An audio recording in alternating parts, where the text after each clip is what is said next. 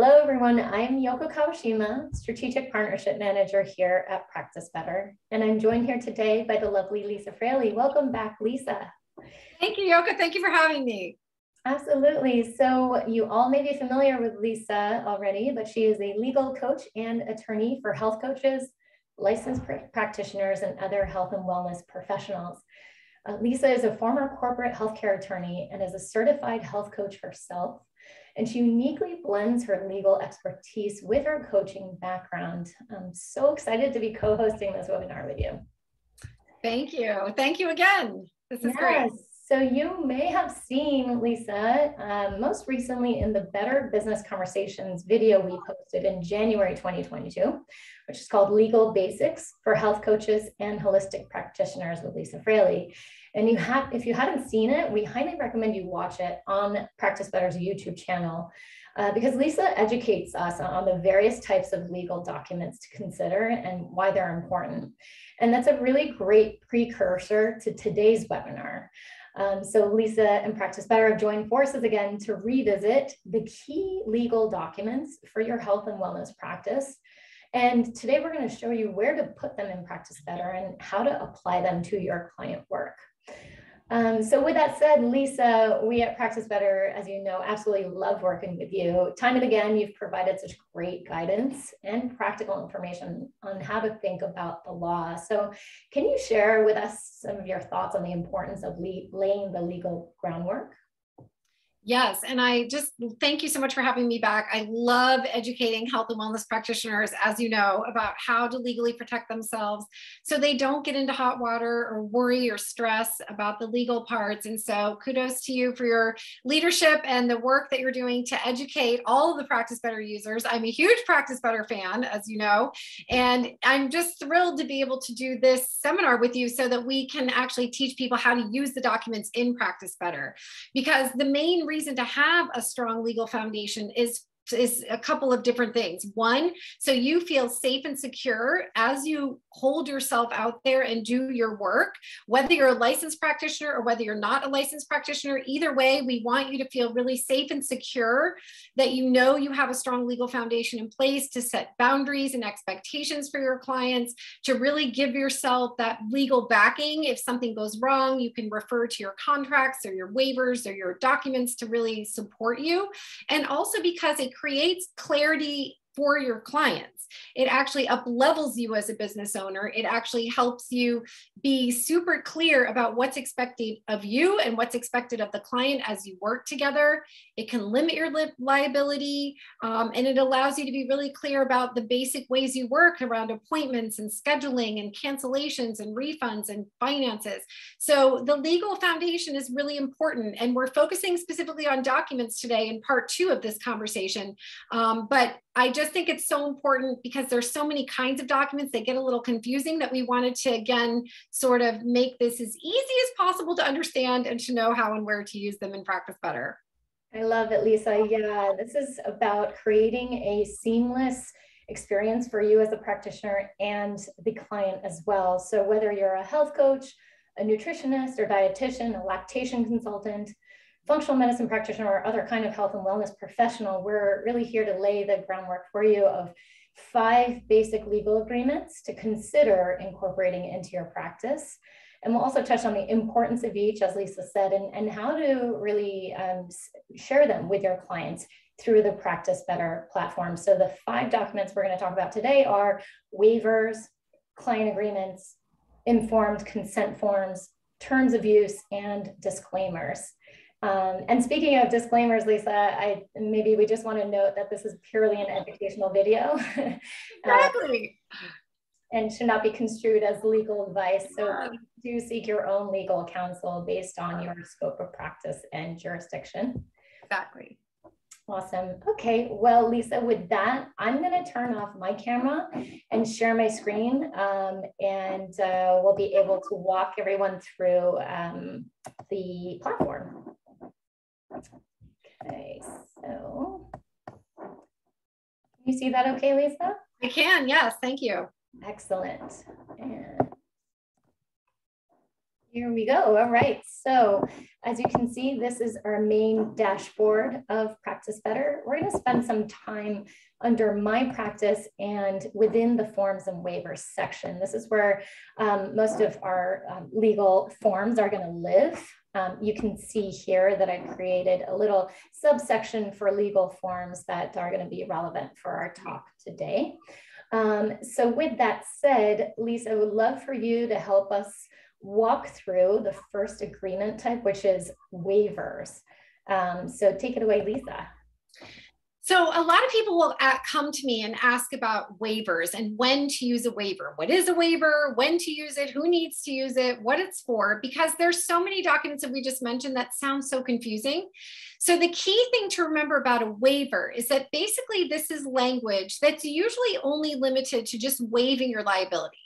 Basically, it can be a paragraph or a short document that's essentially saying that I am not liable for the information that you receive. And this is great information to be sharing with your clients, of course. You do want them to agree to this, but often it can also be part of a larger document. We'll talk about in a minute. Um, but for those of you who are running events, live events in person, whether you're um, doing sort of a fitness class. I know a lot of you might be fitness instructors or yoga teachers or combine fitness with your health coaching or the other type of work that you do.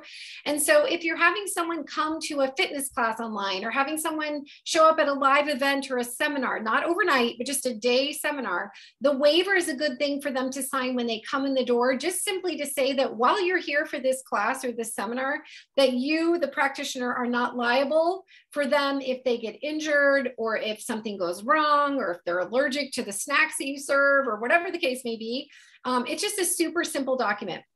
It usually doesn't include things like cost and refund policy and fees or anything like that. It's simply devoted towards saying, I'm not liable for the information that you receive, or I'm not liable if you hurt yourself during this event or this um, seminar.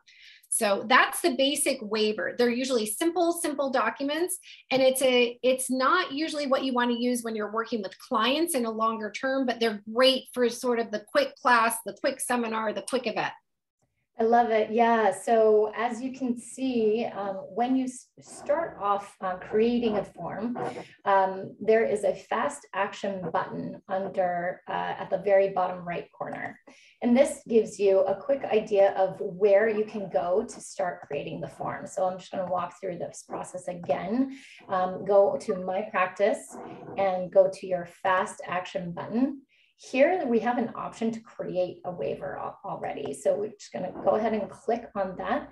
And we already have a form name option where you can put in the title. As Lisa said, this is gonna be um, specific to an event, let's say. Um, so you can title this, uh, let's say, yoga retreat uh, waiver and you have a section for that short blurb that is what uh, Lisa had described um, is important to include there. Um, yeah, and, and, this is what you want to use if you're doing like a day long yoga retreat or even a yoga class. It's perfect because you don't really, if you're just doing a class or a seminar, you don't need the whole giant um, contract that you might use for an overnight retreat, but you do want it for your class or your seminar. Right, or a workshop. Yeah, exactly. Okay, perfect. And with the waiver, um, who needs to sign it? That is a, a question that. Yes, who needs to sign it? Okay, so what's unique about waivers is that they're actually one way. What do I mean by that? It means that it's actually a document where you're asking the client to sign and agree that they're going to waive your liability, that you're not liable as a practitioner, and they're agreeing to waive their right basically to hold you liable. So it's signed only by the client. Um, and again, as I mentioned, it's usually designed just to focus on liability. That's it. Um, and so the client will sign the document and usually date the document, and then that's all that needs to be done. Okay, perfect. So we already have a client signature block embedded here in that waiver template, which is great. Um, and we'll show you as well in other forms how to actually incorporate a client signature block if you're creating the form from scratch. Um, but yes, this in essence is the format of a waiver. So I'm just going to click save and exit. Um, okay, so next type of agreement, I think this is the big one, right? It is. Client agreement. Yeah. So walk us through um, what this client agreement ultimately is, who it's for, what it should contain. Sure. So the client agreement is the main client document that you want to use in terms of a legal document with your clients. If you're working as a health coach, a holistic practitioner, in other words, a non licensed practitioner, you're not working under your license. Um, this is for people who are basically showing up to provide services to a client and the client is agreeing to pay you for the services. This is not for medical advice. This is not for psychological advice. This is purely for coaching or health consulting services and the client is agreeing to them. So the client agreement is used by non-licensed practitioners the reason for that is because doctors and chiropractors and nurses can't actually enter into a legally binding document like this with a client. It's just not legal. You use the form we're going to talk about next. So hold that thought. But here, this is where you want to be um, including the program description of the services that you're offering. You want to include uh, like everything they're receiving. Maybe it's three calls with you by Zoom every week for the first three weeks of the month. Maybe it's handouts. Maybe it's a, a gift that you give them. Maybe it's uh, access to a portal where they can communicate with others. Maybe it's a Facebook group. You can have all kinds of things in your program description, but you want to make sure you're really clear about what services you're actually providing. If you're um, doing functional health coaching work, it might be that they're doing a lab test or they're doing an initial consultation or they're doing follow up consultations. Um, it just depends on what you're doing doing specifically, but you want to make sure your program description is super clear. Then you're also going to make sure, and this is a fairly long document, not, not crazy long, but like four or five pages. So you want to make sure it also has terms in it around payment right? How much does it cost? How much um, do they pay as a deposit? Or do you, can they pay in full or can they pay by installments? What form of payment can they make? Is it by credit card? Is it by PayPal? Is it some other way? Like we don't use a lot of checks and money transfers, but some people still do. So you want to be super clear about how they pay you and when the payment is due. Is it monthly installments? Is half up front, half at the end? This is where you want to be really clear about your payment. Um, a sister corollary to the payment is you want to have a clear refund policy. Because with client agreements you are allowed to say that you don't give refunds or that you give a partial refund or that you give a full refund. So it doesn't matter necessarily what policy you have whether it's full or partial or no refund, it matters that you're clear about what your refund policy is in the document. So the description of the services, the payment, the refund policy, you also want to include language around communication, like how do they schedule calls with you? Do they work with your office? Do they do it online through a scheduler? Do they email you? Do you get on the phone and schedule all your calls at once? Do they do it one at a time? How are the calls um, organized? Are you doing it by Zoom? Are you doing it by phone? How long are they? What happens if they miss a call? Do they forfeit the call? Do they get to make it up by the next call? Do they get to tack it on the end? Do they have to use it by a certain date? These are all the kinds of things you want to be really clear and specific about. And I know it can sound kind of overwhelming to be thinking about all these things at once while you're putting the client agreement together. Um, but that's why it helps to use a document where a lot of this information is already in there for you and you just get to select what it is that you want to do. Um, and you want to include information, of course, here around limitation of liability and disclaimers, like a medical disclaimer to say that you're not giving out medical advice or psychological advice or legal or financial or accounting advice or other advice, and that people need to work with their own doctors and they need to understand that you're not replacing the advice of their doctor and that you are there to provide information and education for them and that you're not providing medical nutrition therapy. Um, you want to be really clear in the disclaimers that you're telling people who you are and what you're doing. So this language is the disclaimer and limitation of liability language so that people know you're not liable, but if you are liable, your liability is limited. Um, and then after that, you have other important sections of an agreement like releasing of claims and notice and termination. What if you decide you don't want to work together? How do you terminate the agreement? How do you resolve a dispute? What happens if someone's not satisfied and you actually need to work it out in a legal way? How does that work? Um, and one of my favorite clauses that most client agreements don't include is a non disparagement clause, which means that you're saying, hey, neither of us are going to say bad things about each other. If this doesn't work out or at the end of this work together, we're really here just trying to um, keep it all positive and professional. And so that can go in the agreement as well. So this is a really important document to be used um, in a client program by non-licensed practitioners like health coaches or functional medicine coaches, um, other practitioners.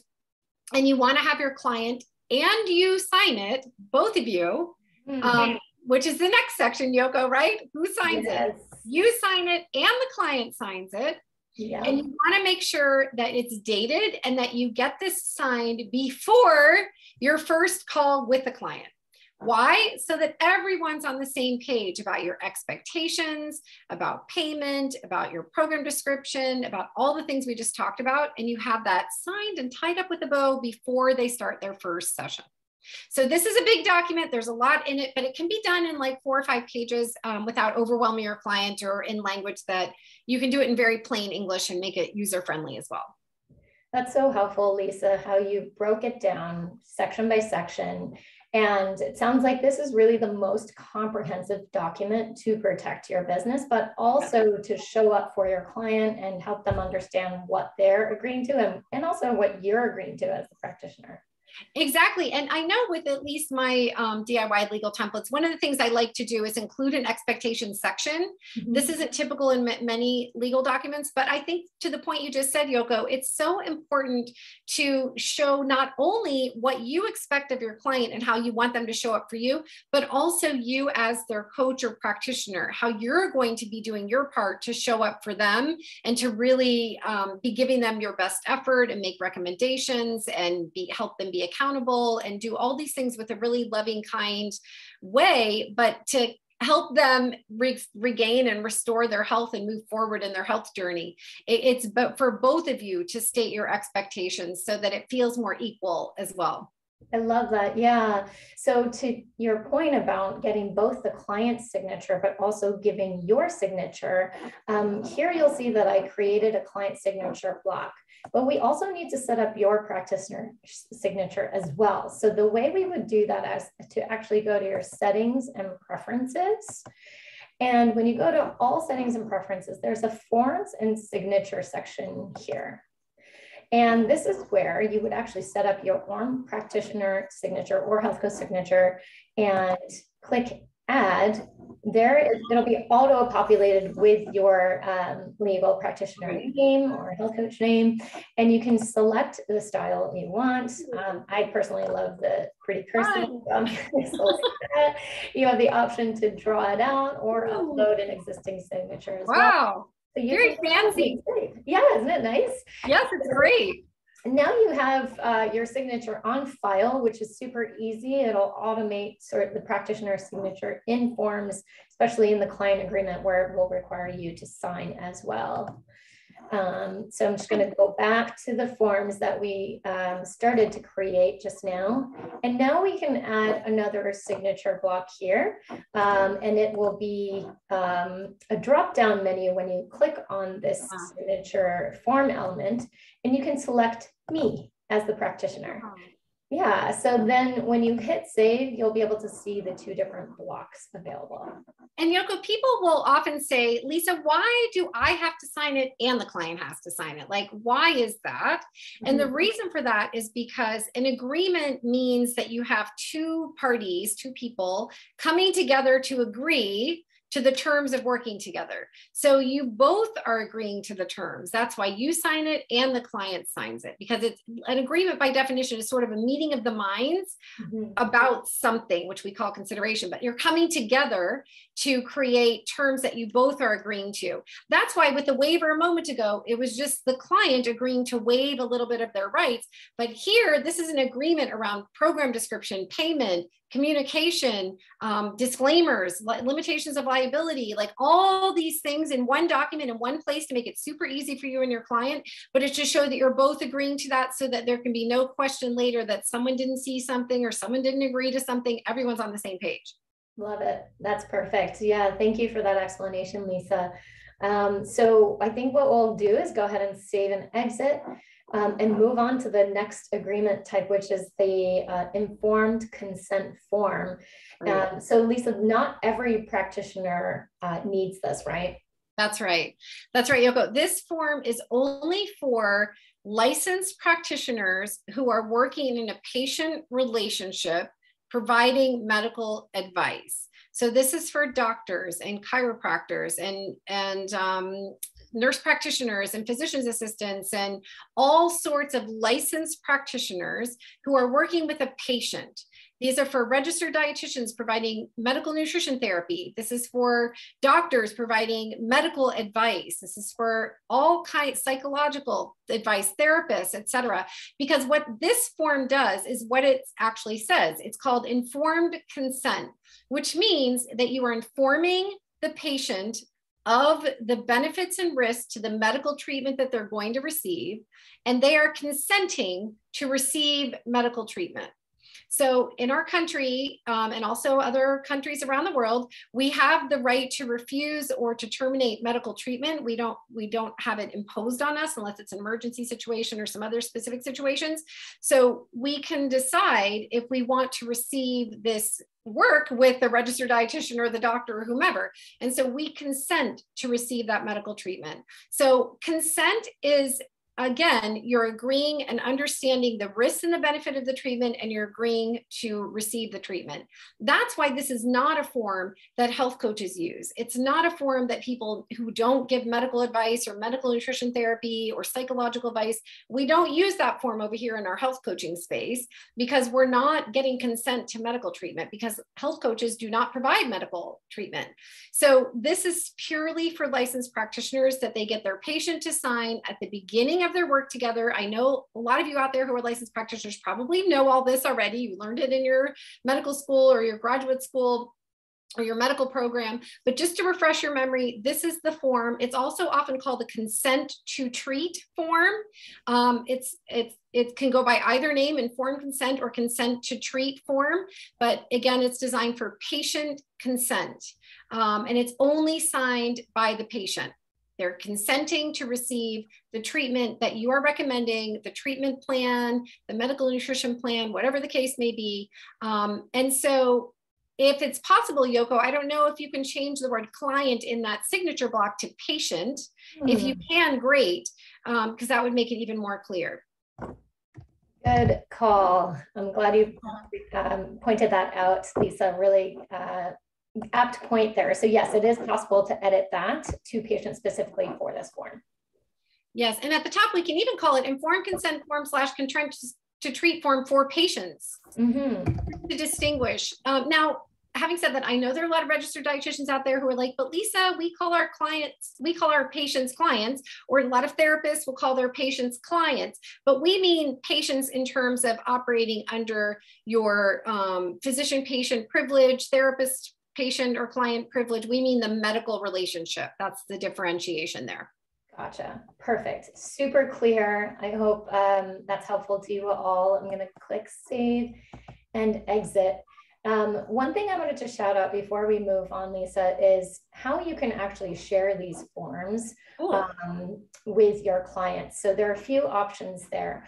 One way is to actually go into your service offerings by going into my practice, my services, and you can actually attach the form to an existing service. So for example, if you've got an initial consultation set up, you can go into your advanced options and you can attach the form that you just created and share them with your client that way. So um, just one really uh, simple way to um, automate the process by um, attaching it to a service once it is um, provided to or um, sent to your client to book. Um, this is one of the reasons why I love practice better, Yoko, is because you make it so easy, A, to use, but B, to like figure out where things go. You allow that to be connected right from the start. So people, do, once you set it up, you don't have to really worry about it so much. It's already there for you, connected to that particular appointment type. Exactly. That is what we want to do at Practice Better is to make your yeah. life easier to manage the practice. And so we actually also have an automation section of our platform, another way to uh, mm. set it up once so you can forget about it and um, it'll automatically send to your clients. So when you go to the automations and triggers section, Again, click that fast action button and you can send a form after a booking is confirmed, just as an example. So if you have an initial consult coming up, you can go ahead and click on the, all of the forms that you want um, your client to sign. Great. There we go. So um, yes, we covered a lot so far as far as the forms go. Um, but there's uh, one interesting example that Lisa, you and I have talked about, which is not so relevant to individual services, but more specifically to programs, which is another feature we have in Practice Better. Um, so if you can touch on the terms of use, which is another legal agreement that's relevant here. Yes. Okay. So legal terms and conditions have several names. Like we lawyers use lots of different names for them and it can get very confusing. So what I've tried to do is call this document terms of use to let you know that they're the terms that you use when you're working with a group program or an online course that does not have one-on-one services in it. Okay. So this is for a group program that you might be offering, a small group program. It's for um, an online course or a self-study course or a DIY course that people are, are looking at. The key is that it has no one-on-one information that you're no one-on-one calls in the course okay there's another document that we use for a hybrid program which Yoko and I decided we didn't want to super complicate this webinar. So we're trying to keep it simple, but this is for your group program that you're running. So maybe you're offering a group cleanse, or you're offering a group detox program, or a group jumpstart program, or you're trying to just do 30 days to good health and you just want a small group of six, eight, 10 people, or maybe you want a larger group of 20 or 50 people. That's great. Or if you have a downloadable, do it yourself detox or something, that is the type of thing where you want to use the terms of use. And basically, this is a longer document longer than the client agreement because what's happening here is people are usually either enrolling through a discovery call or enrolling by going to your website and clicking a buy now button, but they're signing up for the course. Um, you may have Zoom sessions if you're doing a group program, or you might have group calls. You might have a Facebook group or some other type of forum where people can interact with each other. You might have handouts. You might have a group Q&A session. Um, you have a lot of videos and audios that you deliver. Like you have a million different ways you can provide content. And so what happens, unfortunately, you all, is that the less contact people have with you in a program, the research has shown that that's those are the people who are more inclined to take and copy your work, unfortunately, because they just don't have as close of a relationship as when you're in a one-on-one relationship. So we want to have a even more robust document here to say hey, um, there's a lot of intellectual property language in this document so that people who are enjoying your course and participating in your course, if they walk off with it or copy it or take it or steal it or swipe it, there's a lot of language in this document to protect you that you can come back to to rely on. So one of the main purposes of this document is to really protect your content. It also has a bunch of disclaimers in it, a big medical disclaimer. Um, it has language around disclaimers relating to technology and security because group programs and things are often held through platforms. And even though you have a fabulous platform with Practice Better, if someone were to you know feel like they're information was breached and somehow you were responsible for that, you want to make sure, obviously, Practice Better has terms to protect them, but you also want to make sure that on your end, that client isn't pointing their finger at you personally. So you want to have this protection as well. It's an and, it goes together, it's an and. Um, so the idea is that this is a document that your client will agree to when they're signing up for the group offering or the e-course or anything else you sell that doesn't have one-on-one -on, it and they're agreeing to these terms. This is actually more of the one-sided document okay? This is more the client is agreeing to your terms for participating in the course. Um, it's not a service so much. It's more that you're providing this information and education to them in this course or this e-course, and they're agreeing to your terms to be able to participate participate in the course. It does also have language in it around conflict resolution and non-disparagement and a lot of um, language having to do with refund policies and chargebacks and things that you might encounter more often in a group program. But it's a one-way contract that they're agreeing to the terms to protect your content, to protect you, to limit your liability, and to just make all your terms of your course super clear. Awesome. That was so comprehensive and helpful. And um, I've noted here this uh, signature block just for the client. Um, so excellent explanation, Lisa. Thank you for that. Um, I do want to show uh, where you can actually provide this form as part of your program registration. Um, so when you go to my practice and my programs, just to note as well, um, programs are available um, at higher tier paid plans. Um, there's the evergreen option as well as the fixed date. And um, so starting with professional plan and up for the fixed date and then evergreen is at the plus and up. Um, just wanted to note that. But just to give you an example of where this would um, live, ultimately you want to uh, attach the agreement within the um, program itself um, to make it easier for registrants to actually get the form when they register. So the way you would do that is go into the program information, advanced options, and then you can attach your terms of use here. So um, again, we're hoping to make this as easy as possible for you to automate the process of getting these legal documents signed. Yes, fabulous. I love that. Um, it makes it really easy when you just go into that booking forms page and you can put the, the right link there. Again, the way to remember it is that these are terms for how people can use the content in your group program or your online course versus the client agreement where you're working one-on-one -on -one with a client. So Absolutely. that's great.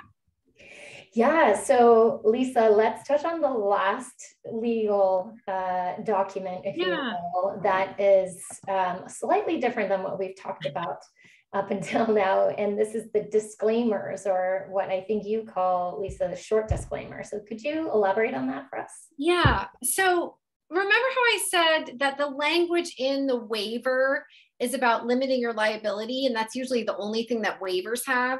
Well, that language around limiting your liability is very similar um, as a parallel to the language in the short disclaimer, what I call a mini disclaimer. And basically, the short disclaimer language is what you might put on the bottom of a PDF or what you might put on your slides if you're giving a presentation or in your say it in the start of your video or say it in the start of your audio or if you have a podcast that goes along with what you're doing or you would use it perhaps on um, the bottom of an ebook or your program guide. It's the short paragraph of language that's a really short mini disclaimer a tiny short disclaimer that's basically telling people you're not providing medical advice you're not substituting for their doctor to talk with their doctor.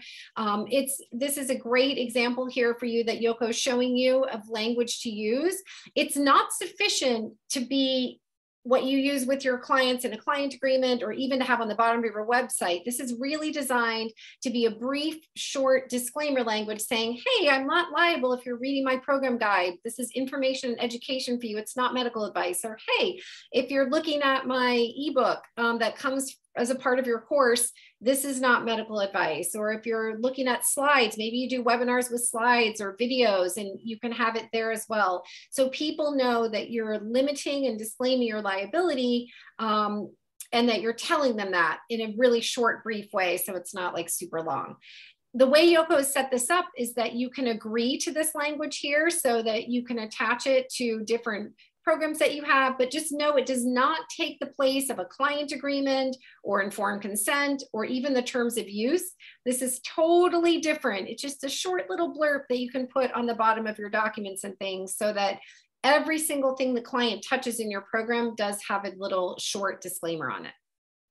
Yeah, it sounds to me, Lisa, like this is more of a reminder than an actual agreement, but it can be helpful and is worth um, considering as part of. Yeah, it's especially helpful to put on your program guides, your documents, things that if someone might show it to someone else or they find it on your home or your desk or whatever, not that we're all traveling a lot these days and going to people's houses. But the idea is that, you know, you have something written on the bottom of a document that they're printing off and looking at later to remind them it's not medical advice.